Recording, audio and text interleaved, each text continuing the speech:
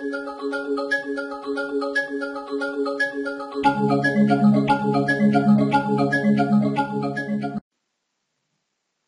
video will demonstrate how to configure the order in which a user can tab through fields in a Maximo application.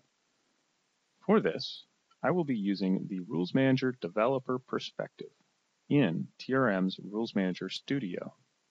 I can configure a different order for different users, groups of users, or even sites and orgs. This demonstration will be a global configuration.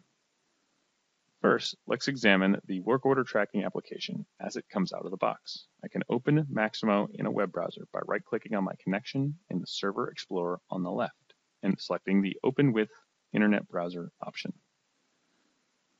Navigating to my work order tracking application, I will create a new record. And notice my default focus is on my work order number. I will press Tab and see that my order follows the vertical ordering of the fields on the page.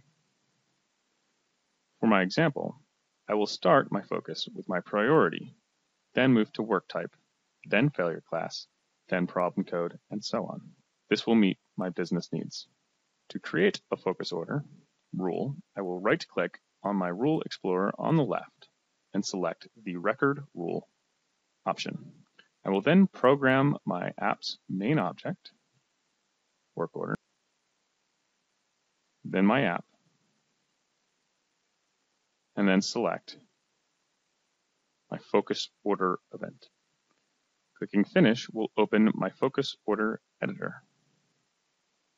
Our other tutorials can show you how to automatically generate an Excel spreadsheet of this documentation. Selecting the button Open App Wizard at the bottom of the editor will allow me to visually determine the order I want users to tab through fields. As you can see, this gives me a visual representation of my work order tracking application.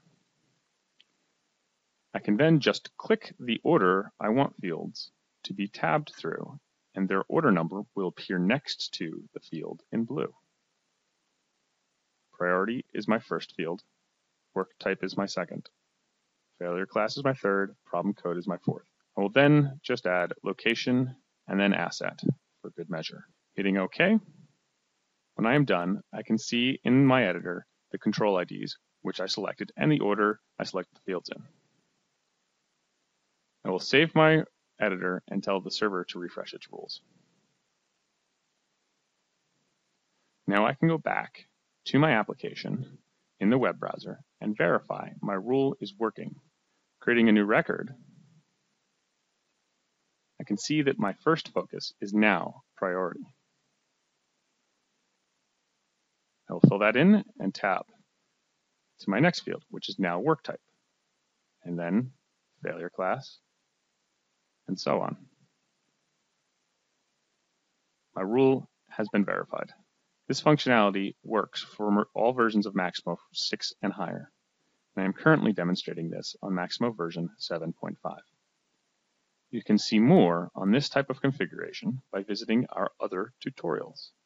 Please visit our website and contact us if you'd like further demonstration of this or other functionality that comes with TRM's Rules Manager.